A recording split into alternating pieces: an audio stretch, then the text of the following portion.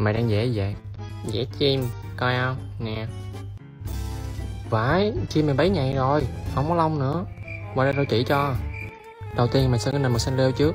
Sau đó mày hơi đèn rồi mày lên tóc lì làm cái nền Lên mỏng thôi. Rồi mày lấy màu vàng mày vẽ cái đầu tròn trước. Từ cái đầu con chim mày kéo xuống cái thân của nó luôn Với cái bụng ha Cho nó phình lên. Đuôi con chim mày dùng màu trắng mày vuốt ra cho nó dài ra. Tiếp theo là cái cánh mày dùng màu đen mày kéo dài từ cái cổ con chim xuống cái đít con chim luôn. Rồi tô đều hết luôn tiếp nữa thì mày dùng màu nâu mình tỉa lông cho nó. Những cái chỗ sáng tối đó tỉa nhiều vô, mày phải nhớ là chim nhiều lông mới đẹp. Tiếp theo là con mắt với cái mỏ thì mày chấm mày quẹt vô. Sau đó mày dùng màu trắng mày tước lại cái cánh cho nó ra nét. Xong chim rồi mày dùng màu nâu mày vẽ cành xung quanh. Trang trí thêm cho cái nền nó đỡ trống. Rồi mày thêm lá với hoa vô quẹt đại ra thôi. Chim thì cũng nào phải đi chung với cành cứ cờ cờ mà làm tới thôi. Cờ cờ là chim cành đó quẹt mấy bông hoa xong rồi mình lấy màu vàng mày chấm nhụy nó là xong rồi. Rồi phủ tớp treo cho con chim mày nó bóng lên. Đó, mày thấy con chim tao sao? Công nhận chim mày đẹp thiệt nhiều lông